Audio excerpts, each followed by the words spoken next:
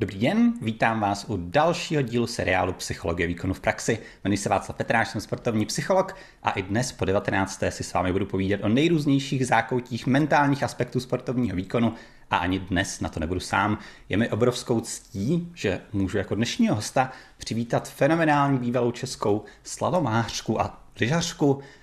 mistrni světa a olympijskou medailistku Šárku Strachovou. Šárko, zdravím tě, vítám tě a děkuji, že jsi přijal moje pozvání.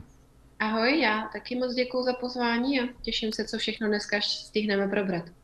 Super, jenom připomenu to, o co nám vždycky běží v tomhletom povídání, je zkusit tak nějak dát hlavy dohromady a podívat se právě na to, že ta psychika, ty nejrůznější faktory týkající se e, té naší hlavy prostě k tomu sportu patří, ať už jste mladí sportovci nebo vrcholoví sportovci a není na tom nic divného, není na tom nic špatného, že jsme třeba někdy nervózní před výkonem, ale čím více se v tom zorientujeme a čím lépe se s tím naučíme pracovat, tím rozhodně více nám to bude umožňovat si i ten sport tak nějak užívat a dostat z něho nakonec třeba přesně to, o co se v tu chvíli snažíme. Takže rovnou se tak nějak, Šárko, můžeme podívat ty, jakožto lyžařka, z tvojí zkušenosti, co tak nějak považuješ třeba z hlediska té psychiky za tu nejnáročnější záležitost v té tvojí disciplíně? Z jakého úhlu pohledu ti přijde, že třeba mladý lyžař by se na to měl dívat? Měl by rozvíjet koncentraci hlavně, nebo zvládání tlaku, nebo výdrž psychickou? Co je podle tebe klíčové?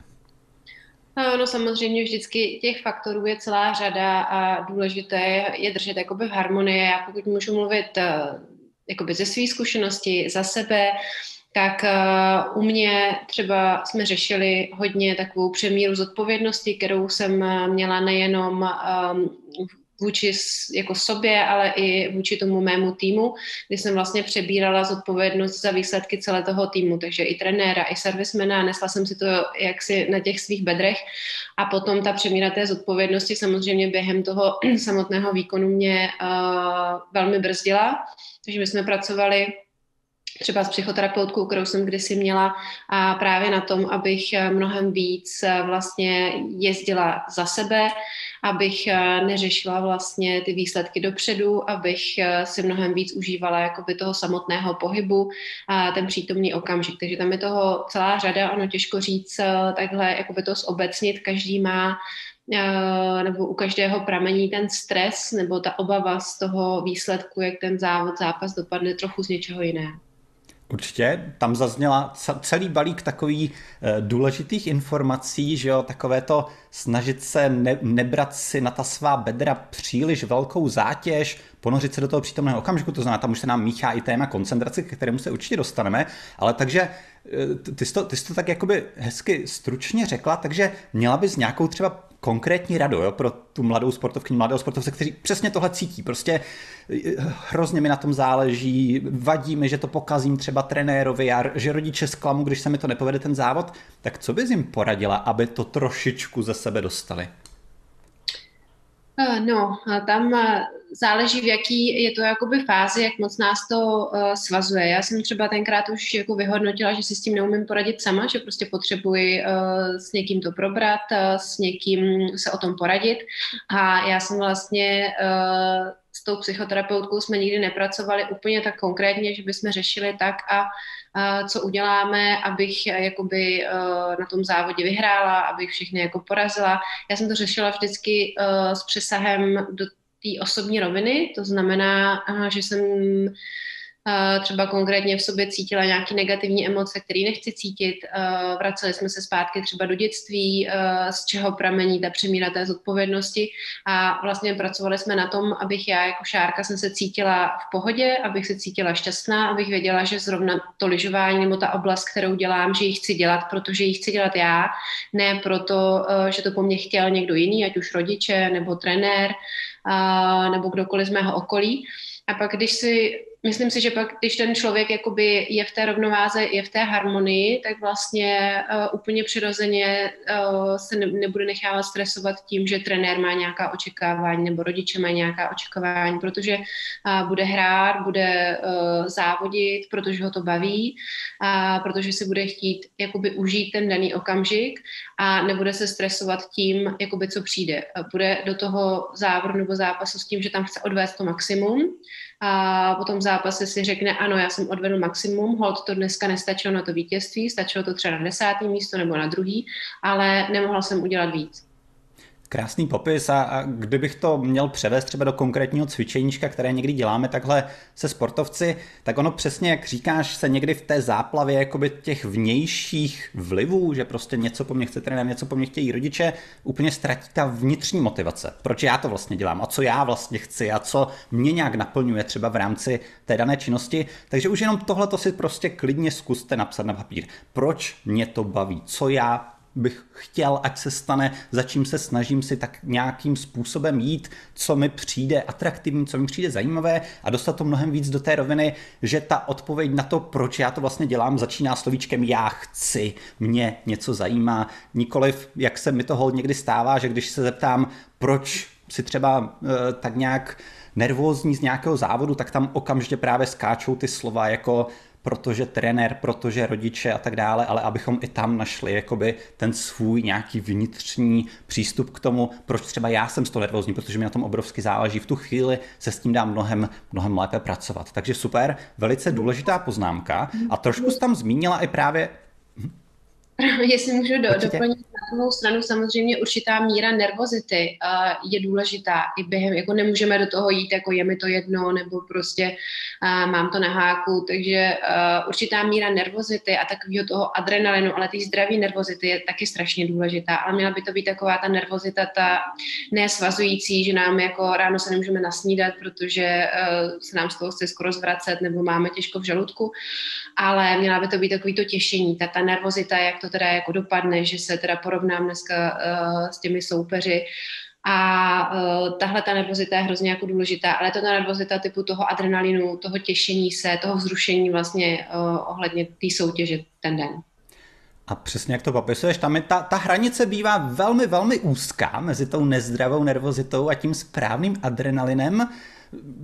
Dokážeš třeba ty tak nějak jakoby zase k tomu dát možná nějakou radu, když třeba sportovec právě je až v té přílišné nervozitě, třeba v den toho závodu a nemůže jíst, je prostě v takové té až křečovitosti, stuhlosti, jak to trošičku snížit a víc to dostat do toho adrenalinu, bojovnosti, eh, využít v podstatě v tu chvíli to nabuzení, které pociťuje? No já si myslím, že tady pomůžou hlavně zkušenosti. Ono samozřejmě mladému závodníkovi, eh, který je poprvé na nějaký velký soutěži, to bude asi úplně přirozený, že tohle bude cítit a prostě potřebuje si to odžít. Já jsem si to taky musela odžít. Já si pamatuju, že jsem byla, bylo mi 15 eh, mistrovství světa žáků, 2000 to, Topolino v Itálii. Byla jsem strašně nervózní a ať by mi asi v ten den a v tu chvíli říkal kdokoliv, cokoliv, tak eh, stejně prostě bych to asi nějak nereflektovala, musela jsem si to odžít. Až prostě časem a zkušenostmi a i samozřejmě prožitými neúspěchy, úspěchy jsem se dopracovala a jako k nějakému nastavení. Potom později, co já jsem třeba praktikovala, co mi pomáhalo vlastně eh, sklidnění přes vlastní dech. To znamená, že i na tom startě potom jsem pracovala vlastně se svým dechem, tím jsem se napojila víc jakoby na, na to svoje já, na to svoje vnitřní prostředí a odosobnila jsem se trochu víc od toho okolí. Uh, jsou i takové techniky, kdy vlastně si opakuješ tři věci nebo pět věcí, které slyšíš, vidíš a cítíš a postupně říkáš tři, pak dvě, pak jednu a tím vlastně se navozuješ na ten přítomný okamžik, co je vlastně kolem tebe.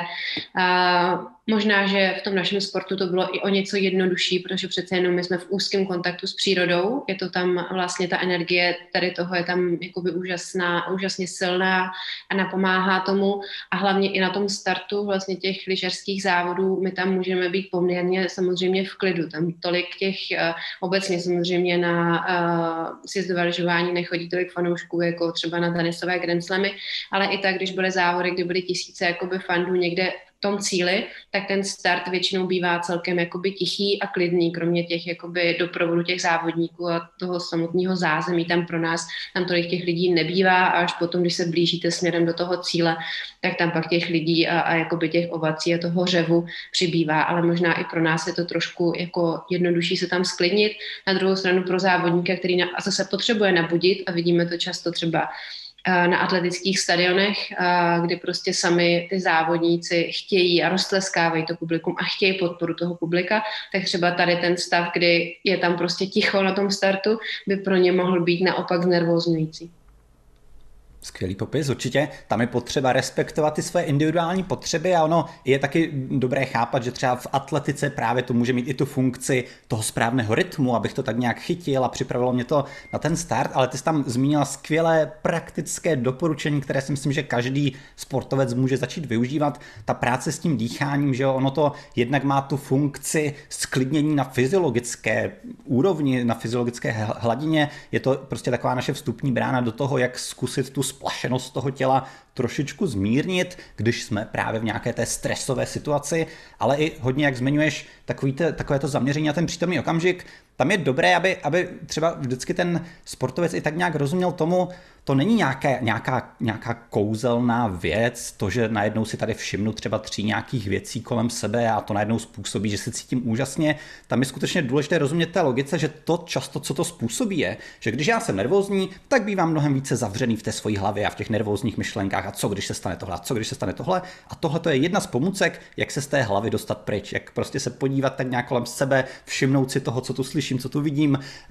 naladit se jenom na to tady a teď a tím mimo jiné způsobit si aspoň na chviličku ten stav té čistší hlavy a to může udělat obrovsky hodně v té spirále třeba té nervozity, abychom to na chviličku takhle zastavili, tak to je skvělá užitečná pomůcka v tomhle směru. Takže určitě skvělý tip. A potom mimochodem jenom Šárko, ať to trošičku dáme do toho kontextu té koncentrace během toho výkonu, protože předpokládám, že během toho, během té jízdy, tam už si znevšímala asi přírody jako takové,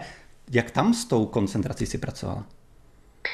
No, uh, obecně, a to si řekl hezky, uh, příliš myšlenek nás, nás brzdí. A uh, samozřejmě během, toho, během té samotné jízdy už v podstatě bychom neměli myslet vůbec na nic. A já vždycky uh, říkám,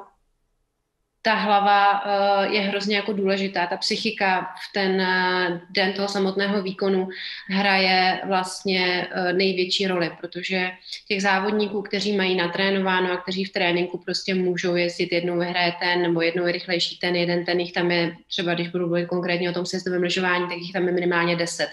Deset těch závodníků nebo závodnic ten den mají technicky i materiálově na to, aby vyhráli. Ale v ten daný okamžik to všechno už je jenom o té hlavě, co jim ta hlava dovolí. Jestli ta hlava eh, se zablokuje tím stresem, tím tlakem, těmi myšlenkami a nedovolí tomu tělu prodat to, co umí, anebo jestli spolu budou spolupracovat. Jestli to tělo bude v harmonii s, to, s tou psychikou a budou spolu spolupracovat. Takže na tom startu vlastně bezprostředně, bezprostředně před tím, než my jsme vždycky vyjeli z té startovací brány, už nemá vůbec smysl si říkat, eh, teda jako eh, tady musím dávat kolena takhle a, a držet si stopu tady takhle širokou a dávat leže na hranu, protože co v ten daný, daný uh, okamžik nemáme zautomatizováno, to už stejně uh, prostě uh, to je takový hrozný kalup, my, my jdeme prostě ten slalom, je to třeba 60 brán, jedeme to 50 vteřin, takže na to jeden oblok máme méně času než vteřinu tak v, tu daný, v ten daný okamžik už absolutně nemá smysl na něco myslet nebo si něco jako opakovat. Naopak, měli bychom tu hlavu úplně vypnout, důvěřovat svému tělu, že to, co prostě jako umíme, a to máme zautomatizované, to tam prostě ten den jakoby dáme do té jízdy a buď to hold bude stačit, anebo uh, prostě to stačit nebude, ale už prostě to neovlivníme. Tam samozřejmě chodí ještě informace uh, z trati, kde je trenér a ten posílá jako aktuální informace o tom, uh, jaké problémy tam mají ostatní závodníci na nějakých třeba problematických místech, jak se ta trať rozbíjí, nebo jestli je, jestli je ledová a drží a nemusíme se obávat toho, že tam jsou někde nějaký koryta nebo rýhy ale uh, to třeba ještě předchází tomu nějakých 5-10 minut před tím samotným startem, ale těch pár minut před tím, než my vyjedeme z té brány, už opravdu člověk by neměl přemýšlet vůbec o ničem, maximálně poslouchat ten vítr, jak tam jako ševelí mezi, těmi stromy a důvěřovat tomu, že prostě to, co umíme, tak dneska bude stačit. Velice důležité zase kapitoly z toho, co říkáš, že to sebevědomí závodní prostě musí vycházet z těch automatismů. Co není v automatismech, tak tam nevykouzlíme a snažit se to naopak vykouzlit je chyba. Je, je, je cesta, jak nepodat ten svůj natrénovaný výkon a i přesně tak, jak říkáš, je to, je to hodně o takové té schopnosti nesnažit se přebírat příliš kontrolu nad těmi věcmi, ale tak nějak důvěřovat tomu, že ta hlava bude vědět, co, co potřebuje dělat, že ty nohy a ty ruce a všechny ty naše dovednosti, které máme prostě nachystané, že si s tím dovedou nějakým způsobem poradit a je to prostě o té schopnosti ponořit se jenom do toho tady a teď. Takže výborná určitě lekce. Mimochodem, tohle to teda kdybychom to převedli do rady třeba pro rodiče a trenéry mladých sportovců, kdyby si u někoho všimla, že prostě ještě těsně před startem tam třeba nějaký tatínek říká a hlavně si dávej pozor na tohle a ty kolena a, tady ty ruce, co, co, co bys jim teda v tu chvíli řekla? No, že možná místo toho tady kolena a ruce říct, jako máš na to, věř si, co umíš, tak umíš, co neumíš, už jako dneska se nenaučíš a můžeme se učit jako příště na dalších tréninkách, ale já si myslím, že uh, ta psychika je opravdu tak strašně důležitá, uh, že pokud uh, to dítě, ten závodník si věří, a tak často může tou, tou sebedůvěrou a tím sebevědomím a to, že prostě do toho půjde s tím, že to jako ten den dokáže, tak eh, může eh, nahradit nebo i zalepit sem tam nějakou jako prasklinku nebo díru třeba v té technice nebo v tom, co třeba nějaký závodník eh, technicky má, ale když si nebude věřit, tak ten, který si věří, tak dokáže vlastně ho dohnat i tady v nějakých těch technických nedostatcích. A bylo to třeba i krásně vidět jak různí eh, národy mají různou výchovu a různou mentalitu. Vždycky bylo úžasně vidět, speciálně na Američanech, jak prostě od narození v nich je budovaný to sebevědomí a to, aby si věřili. A často, i když technicky nebyli tak na tom to tak dobře, jak někteří jako závodníci z jiných zemí, tak prostě uh, je porazili v ten závod, protože prostě do toho šli, že oni jsou nejlepší, oni prostě dneska všechny porazej a, a ta, ta sebedůvěra a to sebevědomí prostě z nich jako stříkalo na, vše, na všechny strany a bylo to vidět. Pak jsou, pak jsou závodníci, kteří prostě jsou jako opa. A je, je to třeba vidět i uh, hez, hezky se to dá srovnat, um, když někdo se učí jazyky a bojí se mluvit Jo, někdo prostě umí perfektně ten jazyk, ale bojí se, že někde udělá nějakou chybičku, něco řekne, ne, neřekne gramaticky správně a prostě bojí se uh, jakoby opravdu odprezentovat, jak výborně to umí. A pak jsou lidi, kteří prostě nějak jako umějí pár slovíček, ale ne, ne, ne, jako nebojí se mluvit, nebojí se vyjadřovat, je úplně jedno, že udělá nějakou chybu, ale vidí, že se vždycky jako domluví a oni se opravdu jako domluví. Přesně, naprosto souhlasím, že ono to hodně souvisí právě s tím, že v okamžiku, kdy já jsem ochoten akceptovat to, že třeba ne, ne, neumím všechno zatím dokonale, ale že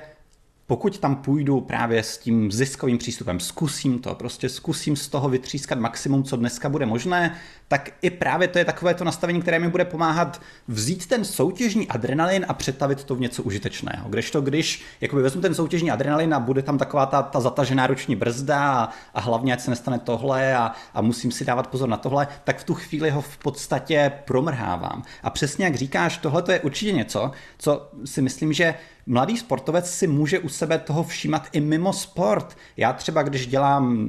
nějakou třeba besedu, máme nějakou skupinovku třeba s hokejovým týmem a řešíme tam právě téma herní sebedůvěry. Takové to, že prostě když se najednou týmu nedaří, tak nikdo není ochoten převzít odpovědnost, nikdo není ochoten něco, něco udělat, jenom prostě každý odpaluje ty puky, tak je, je, je, je dobré tak nějak si uvědomit, že když já třeba nadhodím té skupině nějakou otázku, zkuste mi třeba říct nějaký příklad něčeho a teď tam všichni jakoby sedí a, a jakoby mají strach z toho, že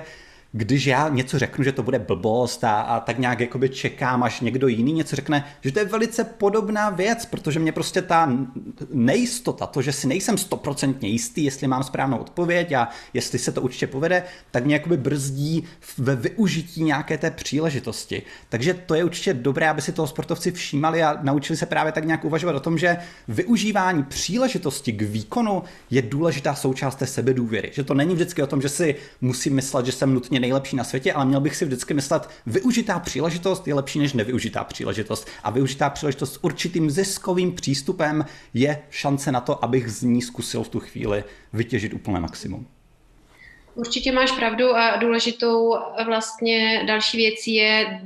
vlastně nebát se udělat chybu. Jo, je to, je to velmi podobný, nebát se udělat chybu a vlastně uh, jít i do toho, že prostě můžu udělat něco, co třeba neupa- nedopadne úplně dobře, ale tím, že si to vyzkouším, a tak eh, se z toho můžu poučit a vlastně chyba, prostě chybou se nejvíc z toho naučím. Pokud jako se nebudu budu bát uh, zkoušet dělat něco nového, jít do nějaké míry rizika, tak se nikdy neposunu nikam dál. Takže vlastně dovolit si dělat ty chyby je taky hrozně důležitý a uh, vlastně i obecně platí, že ty neúspěchy a ty pády a ty překážky nás vždycky naučí nejvíc, než když se nám něco jakoby zadaří. Jo, takže vždycky to, co uh, jako mě srazilo zpátky, uh, musela jsem překonávat nějaké překážky, nebo jsem prostě dospěla do nějakého bodu, kdy jsem nevěděla, nebo nešlo prostě už jako se posunout dopředu, tak hold musela jsem se vrátit o pár kroků zpátky,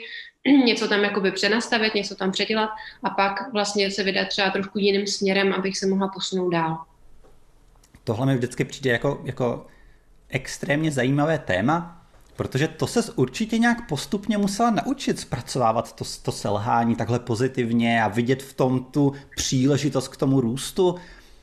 Protože někdy hold, třeba mladý sportovec, jakoby furt mu někdo říká, jo, chyba mi se člověk učí, chyba mi se člověk učí, ale to jediné, co on si z toho bere, já jsem blbec, já jsem blbec, že jsem to tak pokazil a to byl hrozný závod, že jsem to takhle podělal. A v tu chvíli se z toho nic moc nenaučí, že? to je spíš jenom zdroj nějaké, nějakého sebeschazování. Takže co tam je ten klíčový krok? Co udělat pro to, aby tenhle ten sportovec nakonec skutečně se těmi chybami učil?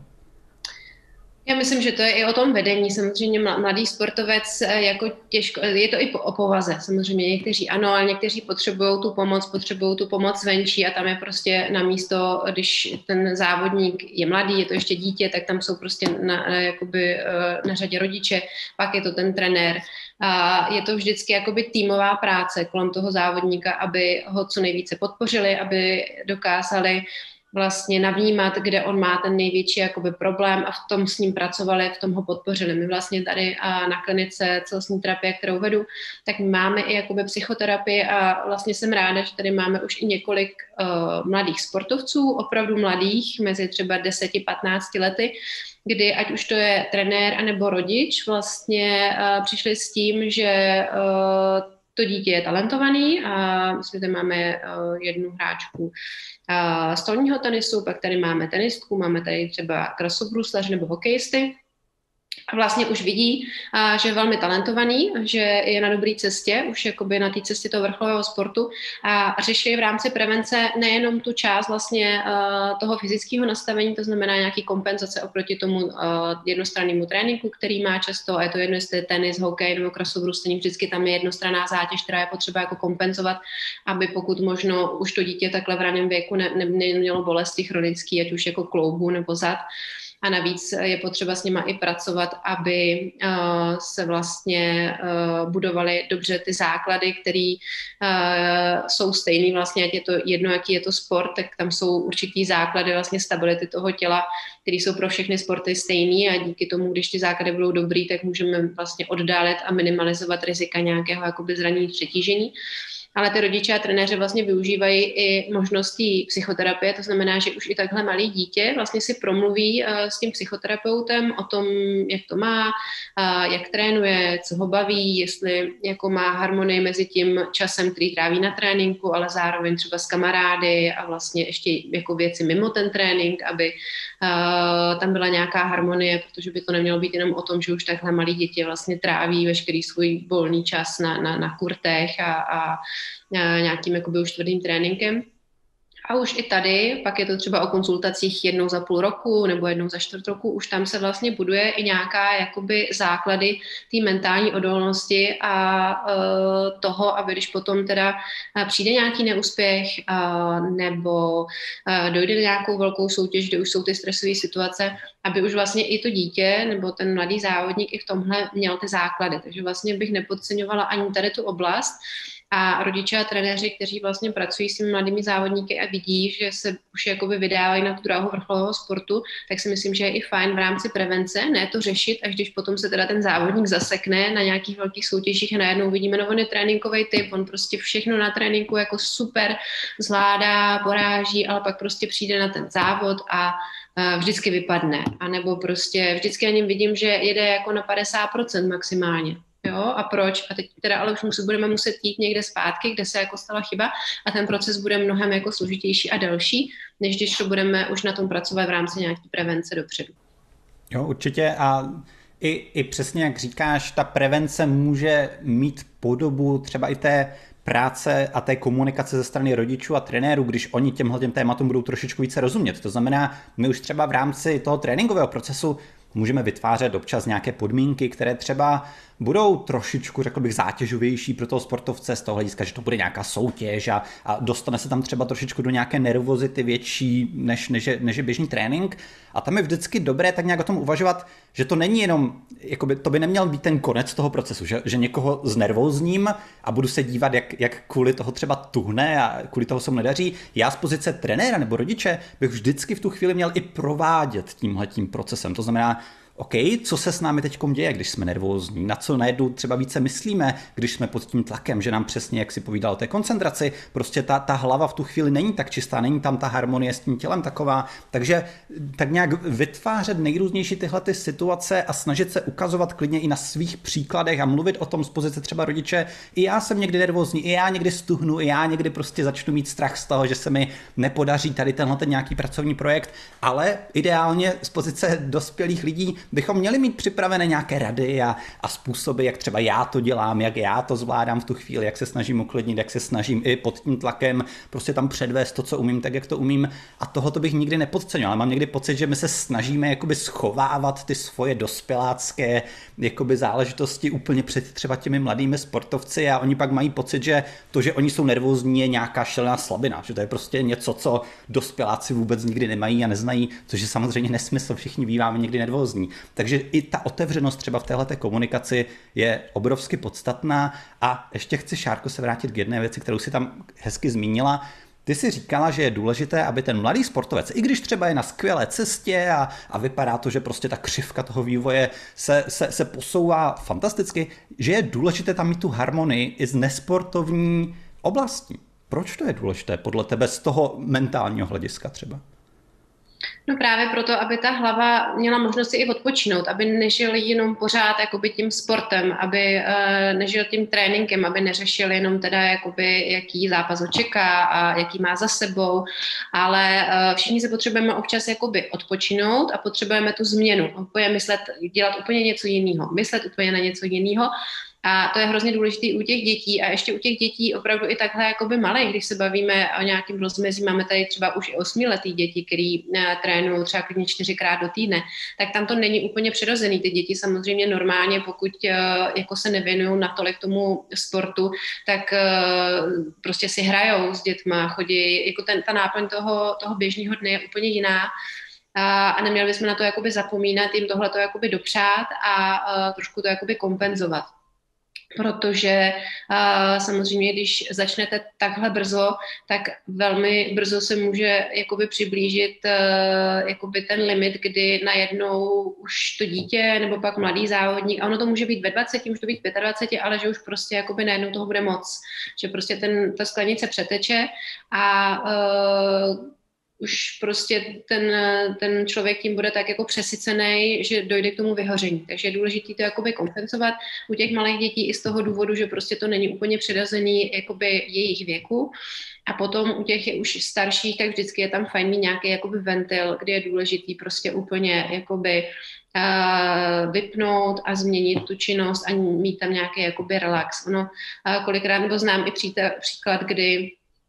ten závodník prostě vůbec se mu nedařilo. Prostě nastala situace, kdy se vůbec jako nedařilo, nešlo, ne, nebylo, nešlo to jakoby na úrovni technický, materiálem, zkoušelo se všechno, co bychom mohli změnit a prostě nešlo to, až prostě trenér řekl a bylo to třeba během sezóny a nějaký ledem si seber se, odleď na týden k moři, jako tam se koupej, úplně jakoby ne, ne, ne, ať nevidíš ani sníh, prostě odpočíň si to tělo, ať zrelaxuje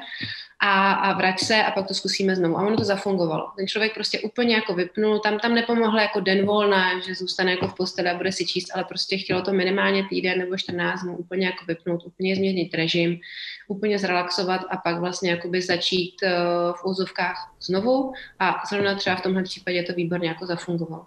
Super. Tohle je přesně nějaká, nějaká forma intervence v podstatě tím vy, vypadnutím z toho cyklu, který mě aktuálně dostává třeba do i silného stresu, ale ty jsi tam zase zmínil několik strašně důležitých věcí. Je, je, je důležité chápat, že prevence tak nějak jakoby eh, té, té příliš úzké specializace? Toho, že prostě to, ten mladý sportovec to jediné, čemu se věnuje, je prostě ten sport, tak ty sama zmínila, má to i nějaké fyziologické důvody a, zdravotní důvody z hlediska vývoje jakoby svalů a páteře a všech těchto věcí, ale přesně si uhodila hřebíček na hlavičku,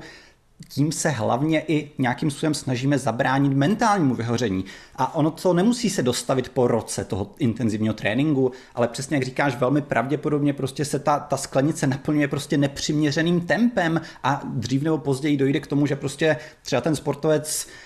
sice dělá nějakou věc, ve které je třeba hodně, hodně dobrý, ale má toho prostě plné zuby a, a není to něco, co by ho naplnilo, není to něco, co by ho v tu chvíli bavilo a tomuhle my chceme předcházet právě tím, abychom tam nějakým způsobem ten režim vyrovnávali i jinými věcmi a jenom bych tam ještě doplnil druhou věc. V okamžiku, kdy prostě ten mladý sportovec si vytvoří takovou představu o té své identitě, že já jsem prostě lyžař. To je to, kým jsem, to je to, co mě baví, to je to, čemu se věnuju každý den, celý den, v jakékoliv minutě svého života, tak ono to na jednu stranu může vypadat fajn, že to je prostě člověk mladý, který moc dobře ví, co, kým je a co ho zajímá, co ho naplňuje, Jenže je, je přirozené, že, že člověk by v průběhu toho svého života, zejména nějakého dospívání, měl být i trošku zvědavý a, a hledat ty, ty nějaké další věci, které mě zajímají a které mě naplňují a, a tak nějak rozšiřovat trošku tu svoji identitu a, a i skrze třeba nějaké hledání prostě nových věcí a nových zájmů a nových lidí, se kterými se potkávám, tak postupně si tak nějak vlastně utvářet tu přesnou představu o tom, kým já vlastně jsem. A ten problém té příliš úzké jakoby sportovní identity je právě v tom, že dejme tomu, že najednou ten sportovec mladý, který to má prostě nastavené, já jsem prostě lyžař, tak co když zrovna třeba v těch 14, 15, 16 letech se mu stane nějaké zranění, nebo prostě výkonnostně se mu nebude vůbec dařit, tak v tu chvíli nejenom, že se mu nedaří sportovně, celá jeho identita se prostě rozpadá v tu chvíli a to může mít šílený dopad právě na to vnímání toho tlaku, že to není jenom o tom chci něco, něco zvládnout, chci tady něco předvést, ale je to prostě ten úplný základ toho, kým jsem. Takže i na to bych hodně doporučoval rodičům a trenérům, ať si dávají pozor, ať naopak se snaží rozšiřovat tu identitu. Děláme si na to různá cvičení, třeba na soustředěních s mladými sportovci, kdy prostě schválně jim dáváme otázky, co jsou různé další věci, třeba kterým, které by je mohly v životě bavit a bavíme se o tom, co je jejich druhý a třetí nejoblíbenější předmět ve škole, protože bývá jasné, že ten nejoblíbenější předmět je tělocvik, takže prostě hledáme tak nějak jakoby ty další věci a hledáme tam to spojení, jak tyhle ty záležitosti, které tě baví v tom sportu, v jaké jiné oblasti třeba by tě to mohlo nějakým způsobem naplňovat a celá ta pointa je prostě rozšiřování té identity a tak nějak celkově vyrovnání toho výhledu, aby to nebylo zaměřené jenom na jednu tuhle tu nějakou jednosměrku. Takže takže velice, velice důležité věci. A mimochodem k tomuhle, k takovému tomu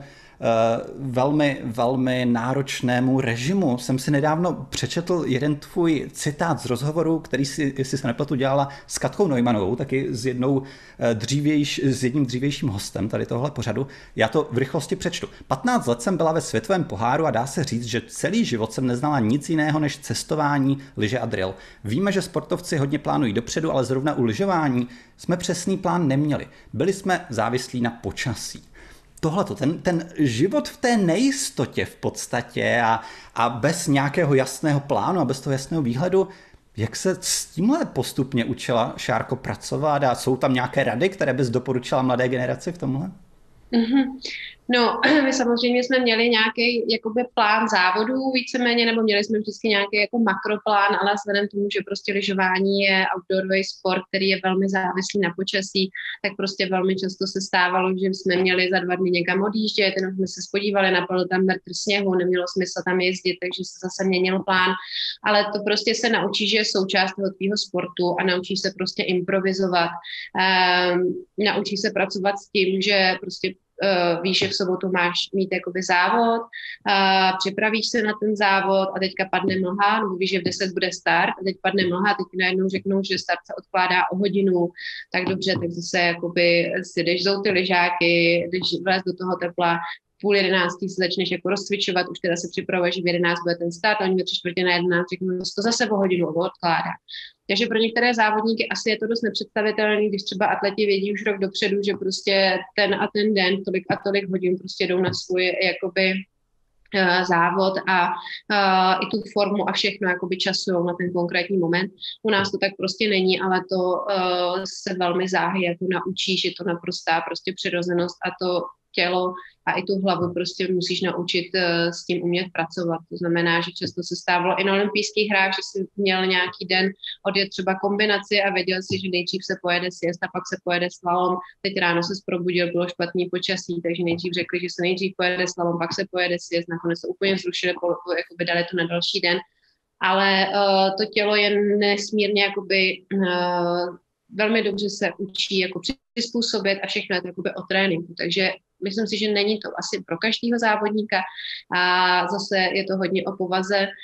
ale my jsme se s tím naučili velmi rychle jako pracovat a musím říct, že vlastně je to i úžasná škola potom do toho života po té sportovní kariéře, že zrovna jakoby a ta vlastnost toho plánování a improvizace a prostě když je něco naplánovaného, pak se to změní, tak prostě plánuješ, uděláš jiný plán a improvizuješ, tak si myslím, že v tom těžím vlastně i v tom životě potom, potom po té vrcholové kariéře. Ale jestli se můžu vrátit ještě vlastně k tomu, co jsi uh, říkal předtím, tak uh, jednak, jak jsme se bavili, myslím si, že už i u těch, uh, když se bavíme o těch mladých závodnicích, o těch opravdu ještě dětech, kteří nastupují na tu dráhu vrcholového sportu, tak tam je důležité už je vlastně učit to, že se musí starat nejenom o to svoje tělo, o to, jestli je bolí svaly nebo bolí záda, ale vlastně i o tu hlavu, o tu duši, o tu mentální oblast, že to je stejně důležitý a že je potřeba i vlastně tu hlavu trénovat, i uh, ji nechávat odpočívat, i vlastně s ní se naučit pracovat, takže prostě uh, to k sobě patří a je důležité vlastně pracovat na obou těchto těch částech. To je učit a myslím si, že i vlastně uh, v posledních letech, kdy se pořád ještě uh, už je mnohem těžší vlastně se neustále zlepšovat a vlastně se řeší i to, kde jsou ty limity toho těla a kam ještě můžeme ho jakoby posouvat, tak tím čím dál tím více klade důraz na všechny možné jakoby detaily. A tak, jak ještě třeba před deseti lety nebylo samozřejmostí, že v rámci týmu je fyzioterapeut a hodně se věnuje fyzioterapii, tak to je teďka naprosto jakoby samozřejmost. A stává se samozřejmostí, že jsou vlastně součástí toho týmu i mentální koučové, takže i na tu psychiku čím dál tím více s ní pracuje a klade vlastně důraz a čím dál tím více uvědomujeme, jak moc je důležitá. A potom ještě, eh, když už jsme se bavili o tom jakoby vyhoření a o těch jakoby starších sportovcích, nebo už potom ve věku 20-30 let, a tak ještě tam eh, mám navnímanou jednu věc a to, že často ty trenéři nebo i ty mentální koučové vlastně všechno orientují na ten výkon ale že bychom mnohem víc měli přistupovat k těm závodníkům a vlastně s tím přesahem, že to není jenom teda ten závodník, ale že to je člověk, který jednou tu sportovní kariéru ukončí a čeká ho ještě vlastně většina toho života má před sebou. A že je hrozně důležitý, aby jsme k tomu i tak přistupovali, aby ten člověk nebo ten závodník a pro toho trenéra nebyl teda jenom někdo, kdo pro něj existuje do té doby, než tu kariéru ukončí a chce během toho z něj jakoby vytřískat to nejlepší, chce, aby měl ty medaile, aby měl ty tituly a pak vlastně už mu to je jedno, protože bude mít jinýho svěřence. Ale měli bychom k tomu, vždycky k tomu uh, závodníku přistupovat jako k individualitě, která ale prostě až ukončí kariéru, tak by měl být schopný žít plnohodnotný život, ať už co se týče nějakých bolestí pohybového aparátu, anebo i potom uplatnění v tom životě, jako vydám. Stoprocentně souhlasím. Úplně se mi teď připomněla jednu, jednu historku, kterou mi nedávno říkal jeden mladý sportovec, že ho šíleně štve, že vlastně má za sebou třeba den, kdy jde do školy, pak jde na trénink, pak jde třeba s kamarádama do kina, přijde domů a jediná otázka, kterou dostane od mamky je, jak bylo na tréninku, co na tréninku, jak se ti dařilo? A, a jaký jsi tam měl čas třeba? A co ti říkal trenér.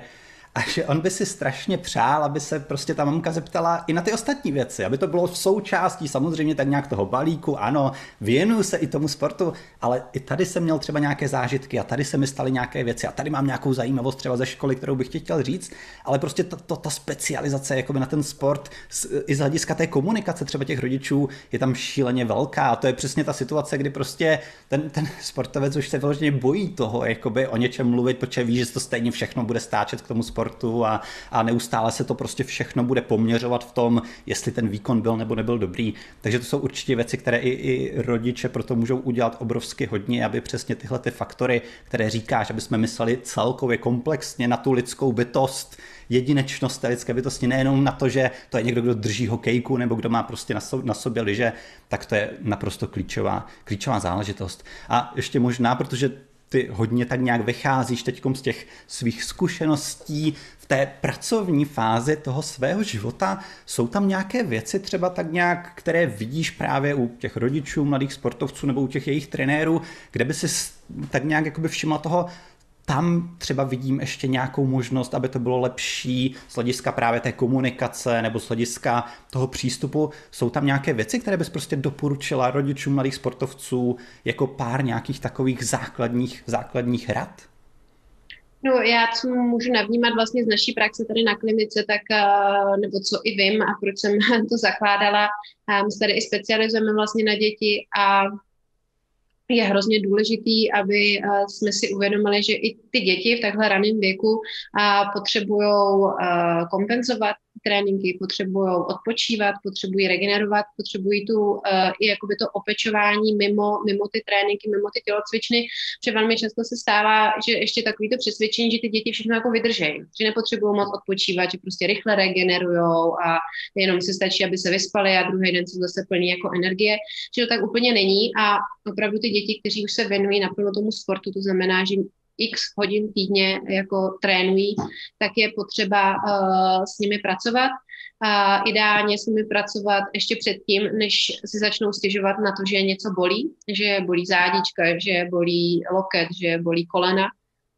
I to je samozřejmě řešitelný, ale vždycky eh, je ta cesta delší, než když sem ten rodič, v ideálním případě trenér, přijde už jakoby v rámci prevence se pobavit o tom, eh, co třeba můžou být slabiny toho dítě, jestli je všechno v pořádku, na čem je potřeba pracovat,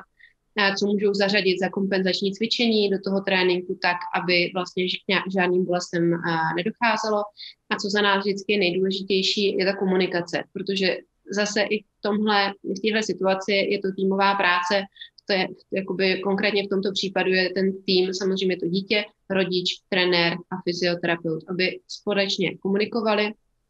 aby a, byli sladění, aby rodič neříkal něco jiného než trenér, trenér něco jiného než fyzioterapeut, protože v tom dítěti akorát budeme vytvářet zmatek, takže tam je důležitá opět ta komunikace. A vlastně ty jsi tu komunikaci i zmiňoval teďka, a myslím si, že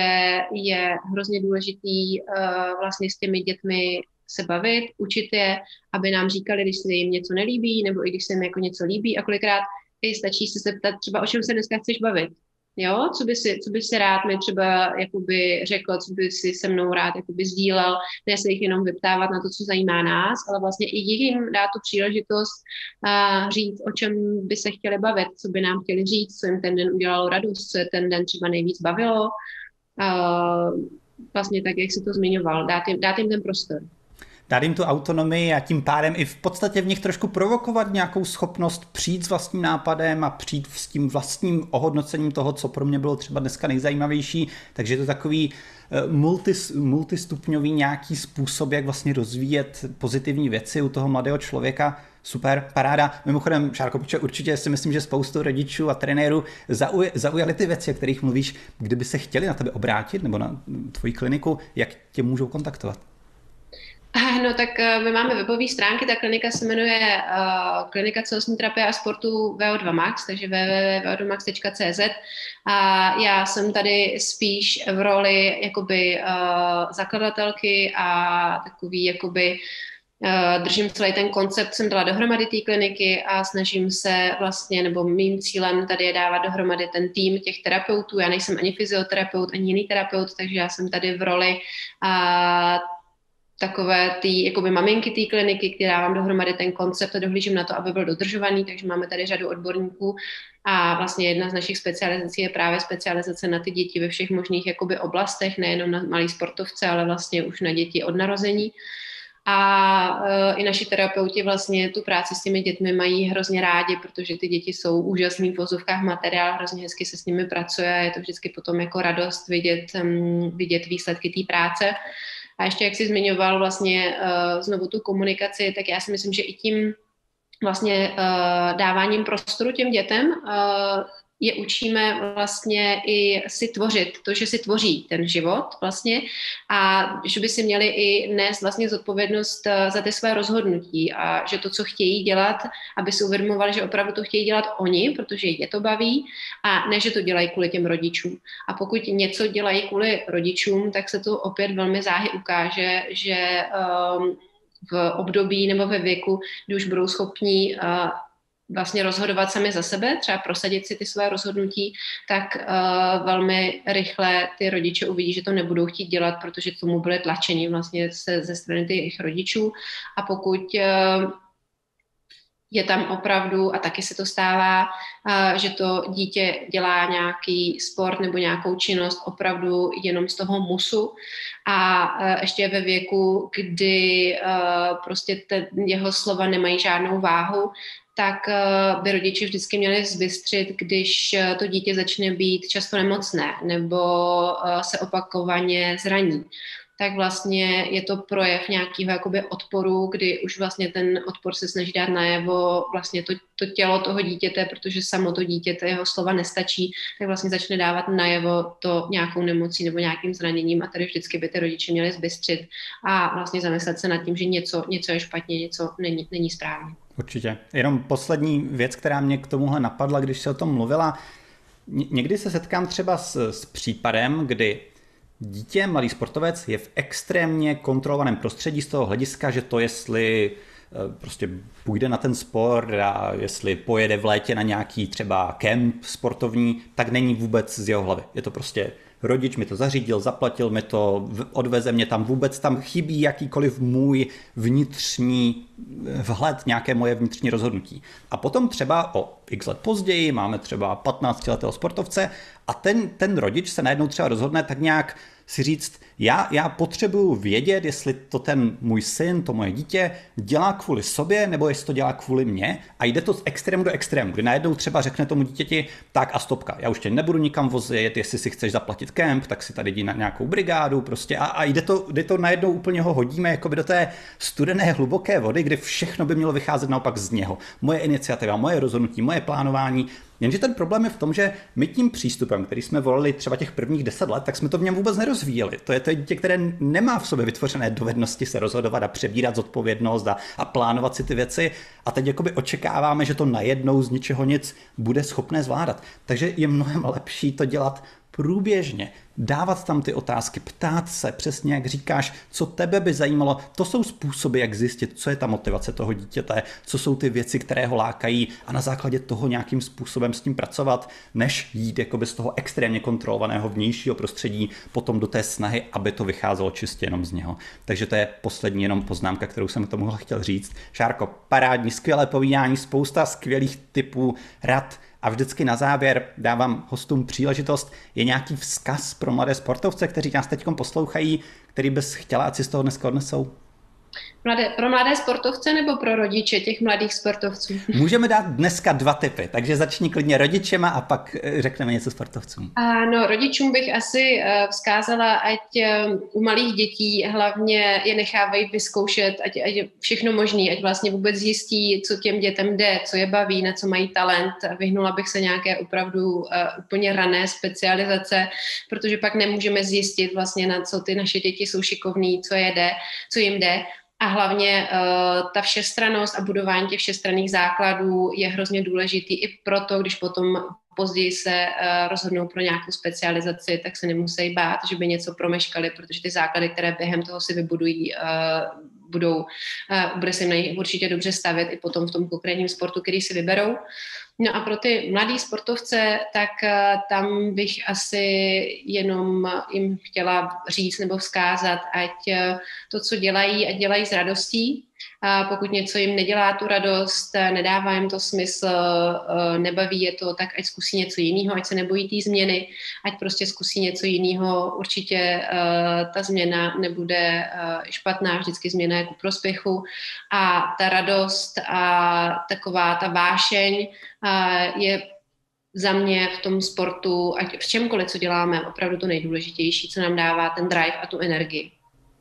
Krásné dvojité vzkazy nakonec. Šárko, ještě jednou obrovsky moc děkuji, bylo to parádní. A teď už na závěr nezbývá nic jiného, než poděkovat i vám, divákům a posluchačům našeho pořadu. Pokud si chcete poslechnout předchozí nebo následující pořady, eh, díly seriálu Psychologie výkonu v praxi, odebírejte Psychologii výkonu na Instagramu nebo na Facebooku, nebo odebírejte tenhle ten seriál na YouTube či Spotify. Zatím se mějte krásně. Naschledanou. Naschledanou, ahoj. Thank you.